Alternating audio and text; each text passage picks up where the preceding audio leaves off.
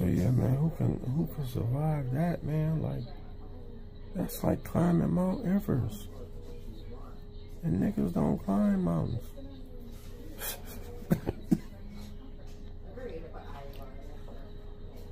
it's like climbing Mount Everest, man.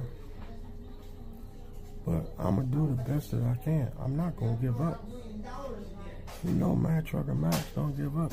If you've been following me from the beginning, or if you're late coming to my channel, I don't know if my channel's dead or not. Because it's been three years, people are going to other channels and different things, and I'm old news. That's okay. I'm fine with that. I this video is a purpose for me to explain, to update where I've been, how I've been doing, and to also educate you guys. While I'm gone, I might be dead, I might be going away, but you can take something from this. You guys can take what I've been going through to say, hey, I ain't been working out. I ain't been eating right. I, I can make a change. And you need to make a change. You need to make a change in your life. If you've been working out, eating right, that's the way to go. This is a workout, workout culture. Everybody works out. Why ain't you working out? I mean, you guys are on OTR driving. You're making your money, but what's the aftermath of you making your money when you're when you're when you're um, unhealthy and out of shape, and some of you scared to see the doctor. Can't be scared, man. I never ran away from this. I took this head on. I took this head on. I never ran from this, man. I never ran from anything. It, it is what it is. There's nothing I can do about it but try to do the best I can. And if my best ain't good enough, then I guess I see you on the other side. But until then, I'm going to fight for myself. Like,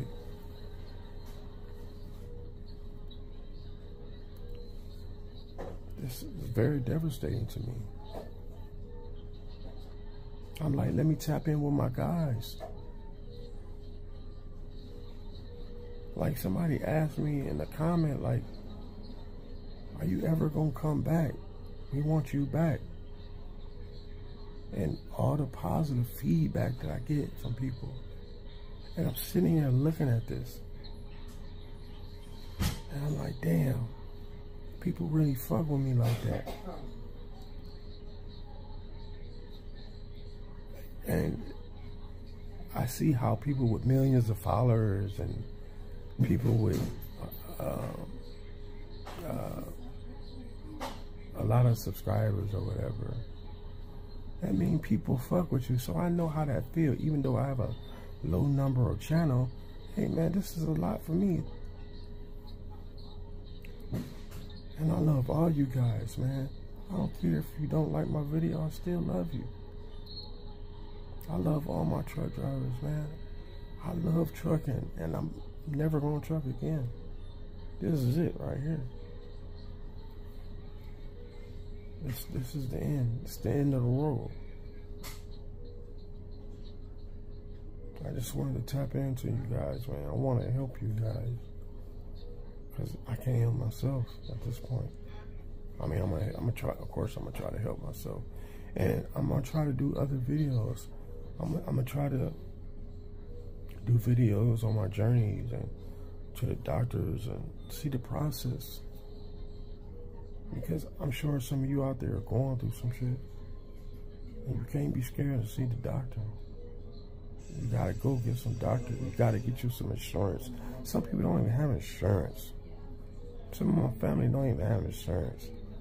Like, how do you not have insurance? What you think this is a game? And black folks are like really prone to diseases. When you go to the hospitals and nursing homes, you see a lot of black people.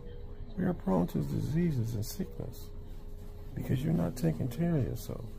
You want to keep eating fried chicken and macaroni and and, and yams and and and hog maw and chitlins and all this bullshit. You're not a slave. They did that because they were slaves and they didn't do have anything to eat. That's the only thing that master allowed them to eat at the time. The scraps. That's where that come from. You're not a slave, man. You out here.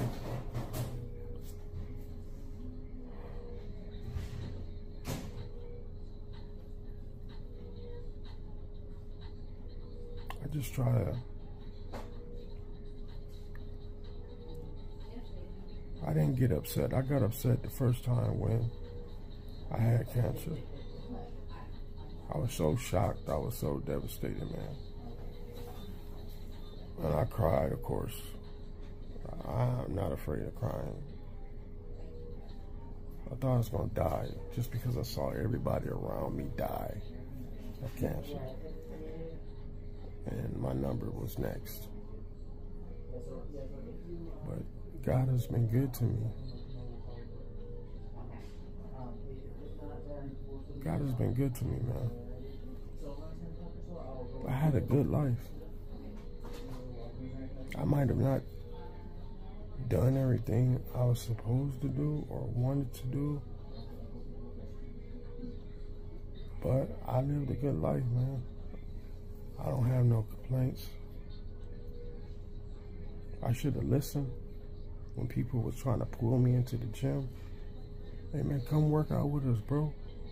That's when I was three. I was, my highest weight was 362 pounds. I fat as fuck. That's when I was starting truck driving. I was 362 pounds. And now I'm 215 pounds. I lost so much weight because of cancer. I went 250 pounds since 2002. Yeah. I had a 77 Cutlass on Dames. Hello. And it was going down. I was up in Detroit all the time and fucking the hoes in Detroit and going to strip clubs. Me and my dude, we was balling. Meat coats and Cartier glasses, and we was having a good time back then. That was one of my best times in my life. I was skinny and I felt good about myself. I didn't feel good about myself when I was fat. I'm not gonna lie to you. It wasn't the same. The reception from the females wasn't the same. I was on all these medications. I was on all these medications when I was big. Now I'm only on two medications. What? Hold on. Oh my God.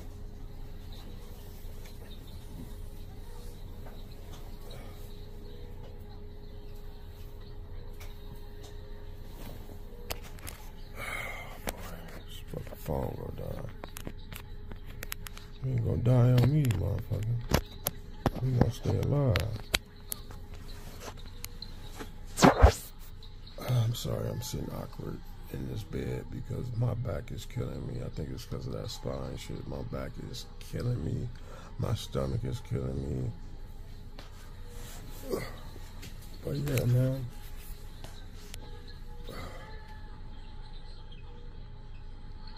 I was not happy with myself. Toward, I'm be honest with you guys. Before I had cancer, I was depressed. Like within three years of cancer, so that would have been 19, 18, 17, I was depressed. In 2015, I hit the lotto for $225,000. Cash explosion. And I still wasn't, I still wasn't happy. My grandparents wasn't around. I mean, that's like my trophies. It was my grandmother and grandfather. They wasn't around. I still was depressed. I hated myself. I hated other people. Just ain't I'm just lying, lying to you. And then cancer comes. So guess so guess how stressful that is. On top of being depressed. I still have to hang out with your friends and laugh and smile and act like everything's okay. It wasn't okay. I ain't gonna lie. But since I lost weight, lost weight, I'm happy for that because now I can be back to my old self from 2002, 2003. Just the older me. I have a birthday February 4th. I'll be 48 years old, man. So I feel good from that aspect, but now I have cancer again. And 50 50 chance I might live, 50 50 chance I might die. But I'm definitely going to put the work in. And now you need to put the work in. You need to do something with your life too. Because I, I see a lot of fat ass truck drivers. You know who you are. I don't know if you just don't care. I mean, look at trucker named Jay. Look what happened to him. You know what I'm saying? Like, this shit is real. You need to take your life serious. I'm sure you got a spouse or maybe kids to rely on. I mean, uh, to they're relying on you as a as a as a father. I don't have any kids. I don't have any kids because I was a sick person. And it's selfish to go have a baby and give your baby all of these sick traits that you might have. Because I think somebody might have did that to me. But I'm not sure. I want you guys to do better, man. Because I didn't do better, bro. I am ashamed of myself. My brother with the two trucks, he works out every fucking day. And he's fit, super fit. He works out every day. While I just sit around and just be chilling doing things here and there, driving trucks.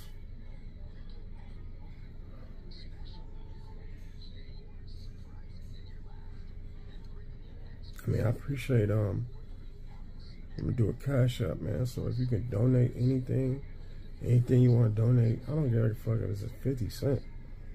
You know what I mean? Whatever you feel is on your heart, I would gladly appreciate it. Because I'm not working right now and I need to think of my next move of what's the next move. I gotta get Social Security. You know how long people have been trying to put me on Social Security? When I was in Findlay, Ohio with the uh, asthma attack, people trying to put me on Social Security. Are you some of my family? You sick, you can't work, they, you can't be driving trucks. Oh, it's dangerous.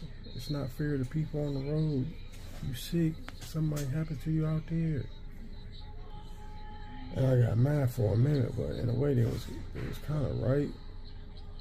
But I know my limits. I know when I feel good, and I know when I feel bad. Like if I feel so bad, you think I'm gonna go drive a truck and risk my life, let alone other people's life?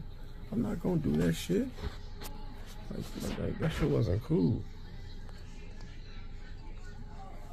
But it's over.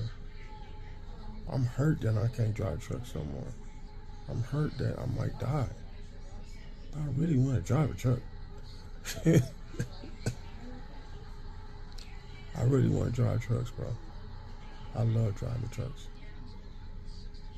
But everything in life runs a course. From relationships to friendships to anything in life. Everything in life runs its course, man. I love you guys, man. I love trucking. Salute to all my truck drivers out there. stay safe on the road out there. It's winter time. I've been seeing crashes and truck drivers being killed at truck stops, and you gotta keep your head on your swivel, man.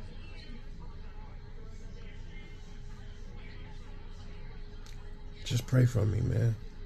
That's all. Just pray for me, and guess what? If you pray for me, if you pray for me, I have so much prayer that I might just survive and you might just see me back on the road. What you think about that? Ain't that a great idea?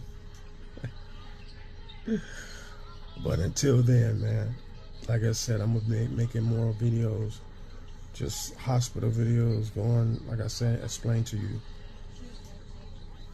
going to my doctors. Hopefully, I can get some footage of the process of what I'm doing and you really begin a journey of the ending of my life or the continuance of my life. So stay tuned. Mad Trucka Max. Stay safe. Stay on your grind. No, that ain't, that ain't my slogan. Stay, stay safe. I don't know what it is, man. I've been out of church. I've been stopping doing videos for so long, man. I forgot. But y'all definitely stay safe out there, man. And I will see you again the next time. Until then, arrivederci.